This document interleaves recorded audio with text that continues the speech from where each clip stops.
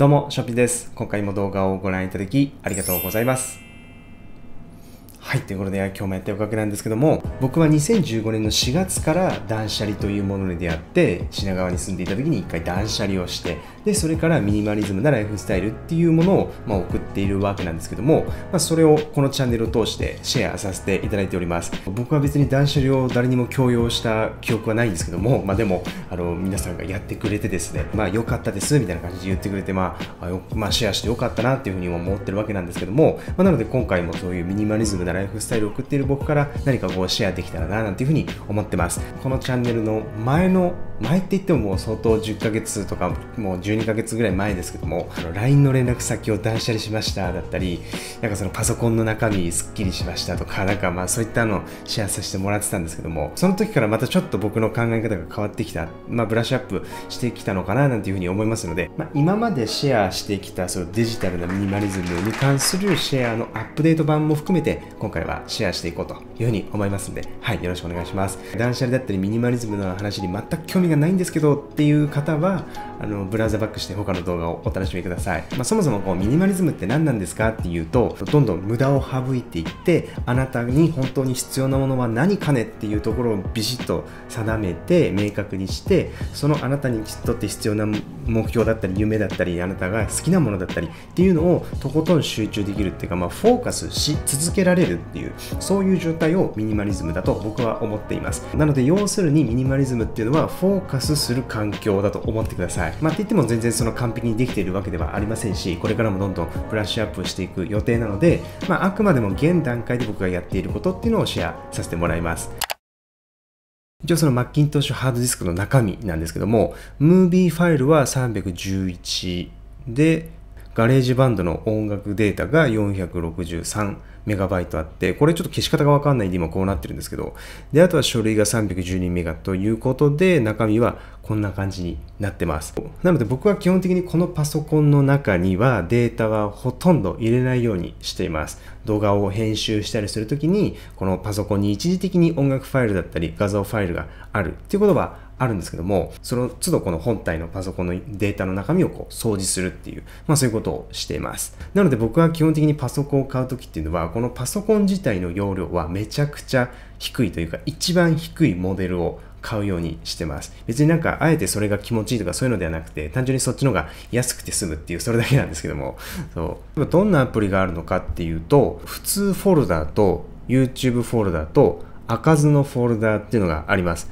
開かずのフォルダっていうのはデフォルトで入っているものだったり、この Google の文字変換アプリ、こういったものは別にわざわざ立ち上げる必要はないので、この開かずのフォルダにぶっ込んでます。YouTube っていうフォルダがあって、これは主に YouTube 編集したりとか、あとは YouTube でまあライブ配信やるためのソフトなんかもダウンロードしてるんですけど、いずれは一眼レフとパソコンをこう HDMI ケーブルでつないでこのソフトを立ち上げてライブ配信を綺麗な画像でするっていう、まあそういうことを今目指してやってるわけなんですけど、ちょっと今はスキル不足なのでスマホ1台でやっちゃってますけども、こんな感じで YouTube フォルダーっていうのがあります。で、あとはこの普通フォルダーっていうのは、なんか普段から割と多めに使ってているアプリたちっていうのがこの普通のフォルダーに入ってます。以上がパソコンの中身を紹介しました。まあ、例えばこのアプリを見たときに、いや、もっと無駄を断捨離できるんじゃないですか、ショッピーさんっていう人もいると思うんですけど、今の段階で必要なものはこれになります。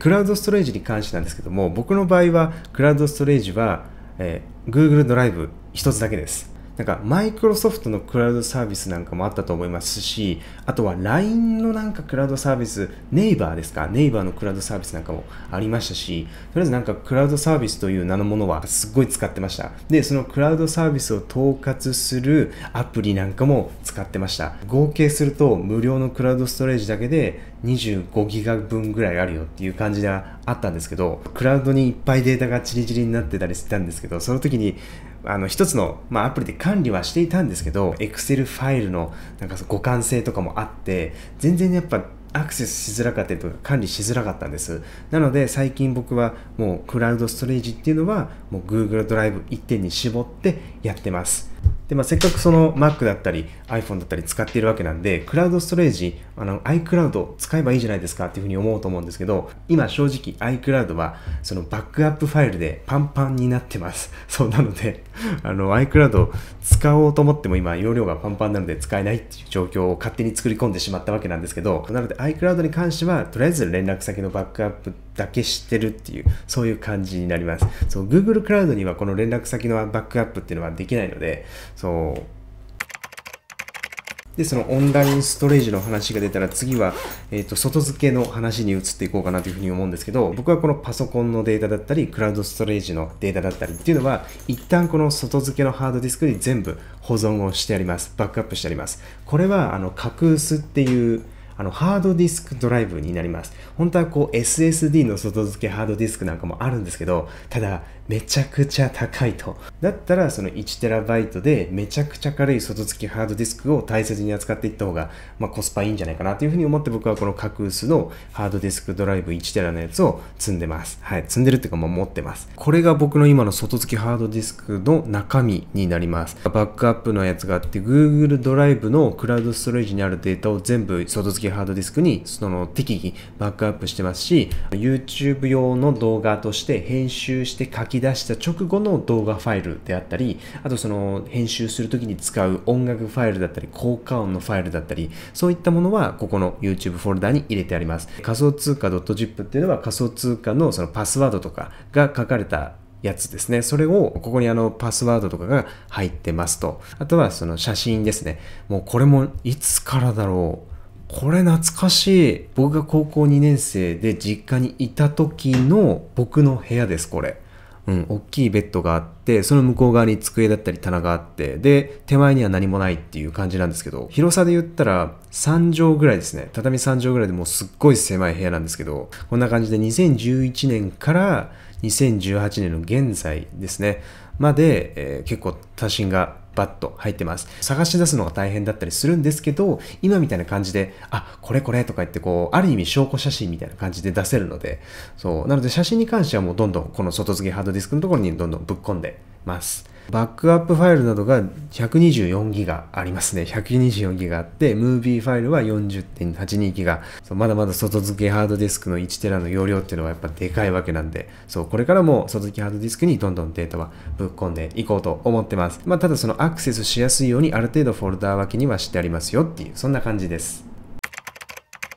で、次にメールアドレスに関してなんですけど、僕が今持っているメールアドレスっていうのは3つあります。で、そのうち2つっていうのは、もう本当にどうしようもなく仕事関係で使わなきゃいけないってやつで作ったので、ANA アプリだったり、ZOZO タウンだったり、エバーノートだったり、そういったもので会員登録っていう風にすると思うんですけど、その場合僕は Google のメールアドレス1個だけで全部やってしまっています。なので、セキュリティ面だったり、誰かにハッキングされたりとかしたら、僕は人生積んだって感じになっちゃうと思います。そう、なので CIA さんだったり、FBI さんだったり、アノニマスさんとか、まあ別に狙われないとは思うんですけど、もし万が一僕のメールアドレスを発見してしまったと、あれ何これハッキング簡単じゃんって思った場合は、お手柔らかにお願いします。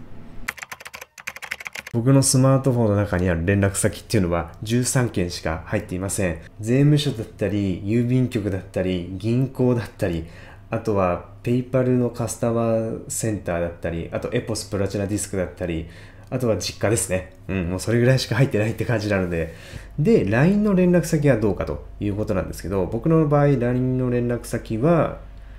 えっと、グループアカウントは8個ありまして、で、友達のアカウントは、え3件ですね。で3件のうち2件が姉と妹のアカウントなので、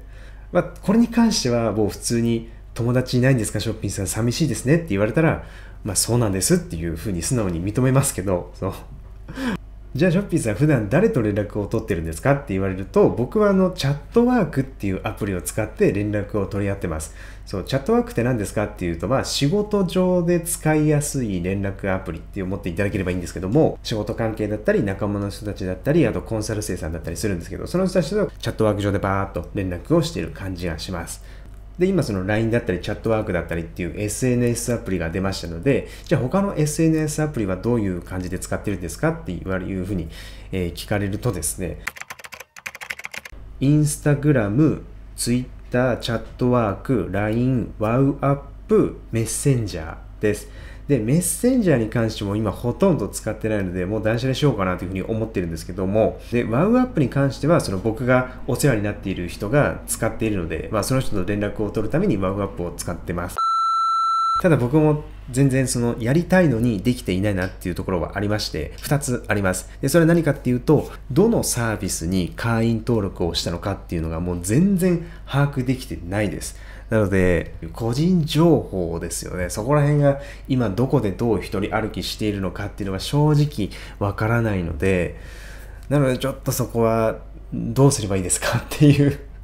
ということで、まあ、僕のデジタル環境におけるミニマリズムについてシェアさせていただきましたけども、いかがだったでしょうか？もっとこの部分が知りたいです。もっとこの部分を深く掘り下げてほしいですって思った場合は、コメント欄に書いていただきたいですし、この話がちょっとでも面白かったです。参考になりましたと思っていただけた場合は、ぜひグッドボタンとチャンネル登録ボタンをポチッと押していただけると大変嬉しく思います。ということで、今回の話は以上とさせていただこうかなというふうに思います。これからもどんどんシェアをさせていただきますので、ぜひあのこれからもよろしくお願いいたします。ということで、今回も動画をご覧いただきありがとうございました。